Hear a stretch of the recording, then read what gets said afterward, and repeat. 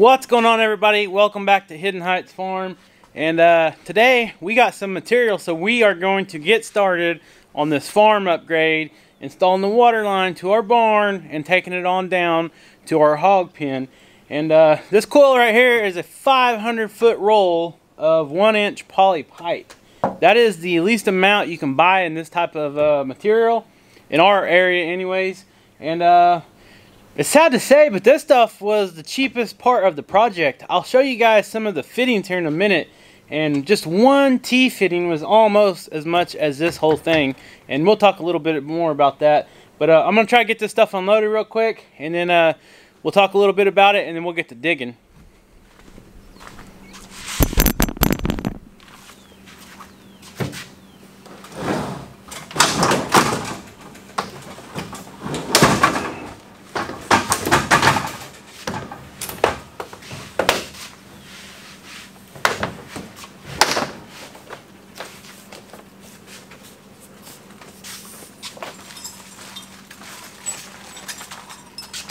Here is some of the brass compression fittings we're going to be using.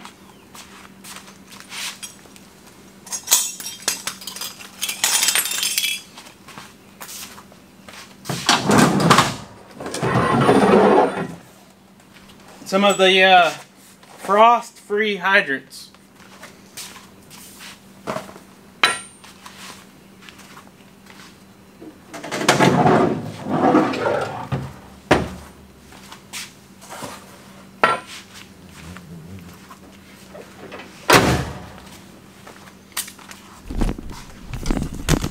All right, guys, I know it's a little dark in here, but we got the material. This is pretty much all the material we're gonna need, except for a dump truck load of the pea gravel that is screened from the creek just down here below our property. And uh, if I get time tomorrow after work, I will go get a load. I won't have time today because they are already closed. Um, I think they close at 5 o'clock or something.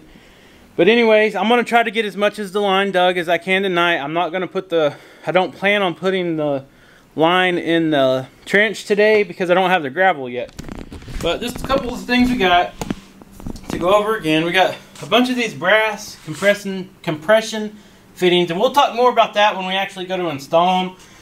Uh, two of the frost-free hydrants, and then of course the 500 foot roll of the poly pipe. And uh, this stuff right here was like 400 bucks, believe that or not. These things has like tripled in price. And those have also went up. They're, they're brass, so they're super expensive. But there's actually only two ways to install this type of pipe. I could have went with the PEX and it would have been a lot cheaper, but this pipe is made to go in the ground where it's a lot rockier and uh, stuff like that. So it's a lot thicker walled than regular just PEX pipe and I don't ever want to have to redig this stuff up. So once I put it in the ground, it should be good to go uh, once we get our depth and get below our frost line we should have not have any problems in it. Um, we've used that stuff whenever we ran water out to the goat barn over here in our Kiko pygmy pen and to our house.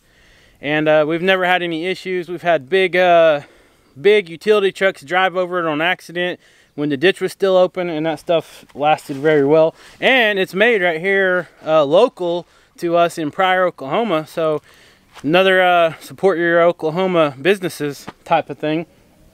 But anyways, we'll talk more about that when we start installing it and all that. But today, our goal is to try to get this ditch started. We're going to start digging it. So I'm going to grab our GoPro. I'm to grab a uh, Powerade from the fridge. We're going to get to digging. All right, guys. So if you're new to the channel, this is a little series of videos we're going to be doing. And I think I'm to title them Farm Updates or Farm Upgrades. I haven't decided yet. But if you missed out on the last video where we started digging this hole right here, this is the water line we are coming off of. And we're gonna go straight north here. We're gonna go straight down this fence line right to the front of that barn on the other fence and we're gonna drop a hydrant there. So I want to give myself enough room from this fence where I can get my other tractor with the box blade on there after I'm done digging and filling everything back in where I can run back and forth and clean the line up good. If you dig real close to the fence, you're going to have a problem getting your equipment in there close to it to keep it clean. And you guys can see all these rocks and stuff in here. It, it's it's a mess trying to clean these trenches up when you're done and you backfill them around here because of all the rocks. So that's why I'm gonna try to dig this thing straight down the middle, maybe to the left just a little bit because after this project's done, the next one we're gonna be starting is running electric from over there to our barn and it is gonna go right next to this water line. Um, there are reasons why I'm not putting the electric line on top of the water line. I don't uh, have to follow codes where we're at because we're out in the rural country. We don't have any city ordinance codes or any weird stuff like that. But if we were to ever sell this house or anything weird, someone else lives here in the future and they don't know how I ran that and they say, oh, we got a water leak, we have a water problem and they go to digging that up and for whatever reason they don't check or whatever and they get in that electric line, you could potentially kill somebody or seriously injure someone. Or even if I forget, if I get to be old and I'm still living here and I say, hey, I need to dig that water line up 30 years from now, if I forget and I dig it up and I hit that electric line, it's just something that I have the backhoe. Uh, we bought this backhoe, we have it. I don't have to return it tomorrow. I'm not in a crunch for time. I'm gonna try to do this right. I'm gonna dig the water line and I'm gonna dig the electric line. I know a lot of people's gonna say, well, you just throw it in the same trench. You can, you can if you want to, but this is not the way I'm gonna do it. So I'm gonna set this camera up, set my GoPro up, and uh, get to digging and see how far we can get. Uh, I got a few hours before dark, so uh, wish me luck.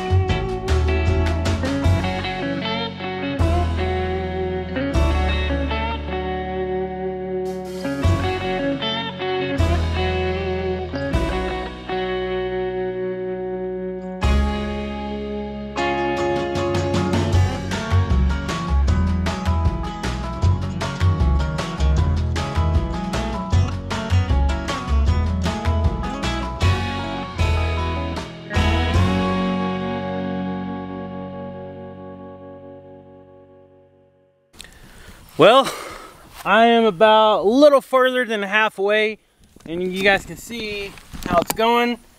Just nice and slow. Um, not the perfect straightest line ever, but I keep trying to cheat over towards the fence because I want to leave room for whenever we do the uh, electric line and I don't want to have to even get close to the water line and um, there's a lot of rocks so I'm just trying to take my time trying to go against this fence and keep the rocks and dirt kind of push back to this side. So every once in a while when it starts building up on that side, you might see me take the bucket and kind of scoot it back over there. I hope you guys uh, got to see some of the footage. I don't know how well it's recording. I had the GoPro set up on the uh, arm of the backhoe as well, and hopefully the angle is okay. I haven't checked it.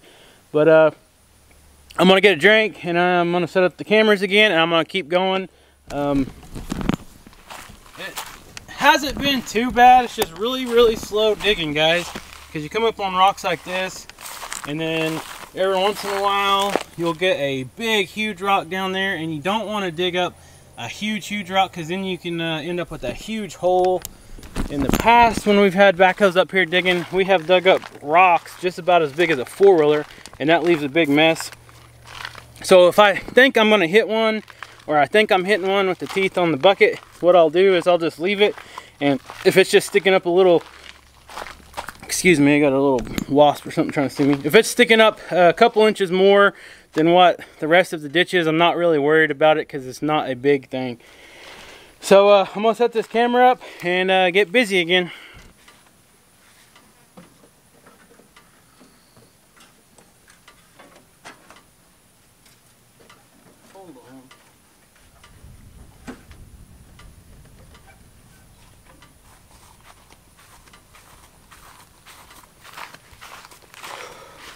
So the whole reason I stopped a while ago, about halfway, is because my fuel light started to come on. So I was uh, gonna pull this thing over there and pump some fuel. So that's what I'm gonna do real quick. And I'll do it. I'll pull over there and I'll film a little bit to show you guys my pump one more time in case you never caught the last video. All right guys, so if you're new to the channel, uh, we store our diesel in one of these plastic tanks here. And I've had people in the past criticize me about the static electricity and this and that. And we've been doing this for many years and never had a problem. I'm not saying that it won't ever be a problem, but I've never seen anything uh, online or talked to anyone else that says otherwise. Just a couple people online says it's a problem about storing fuel in uh, plastic tanks rather than metal. I mean, when you go to the store and you buy fuel tanks to go fill up for your lawnmowers and all that, what are they made out of nowadays? Most of them are plastic. I do have a lot of metal ones that are the older style and they work really well. But I don't know if that is a, a fact or not, so I'm not going to say either way. And I store this thing in a little five gallon bucket, so sometimes it kind of gets kinked up, as you can see. And this is the little 12 volt pump that I purchased on Amazon. And uh, we have been really happy with this. Uh, Dutch used it last whenever he uh, rented the skid steer out on his off-grid land he borrowed this tank and went and filled it up and uh, filled up his skid steer that he rented for the weekend and it worked really good for him too. So basically, you just drop this in here, hit the button,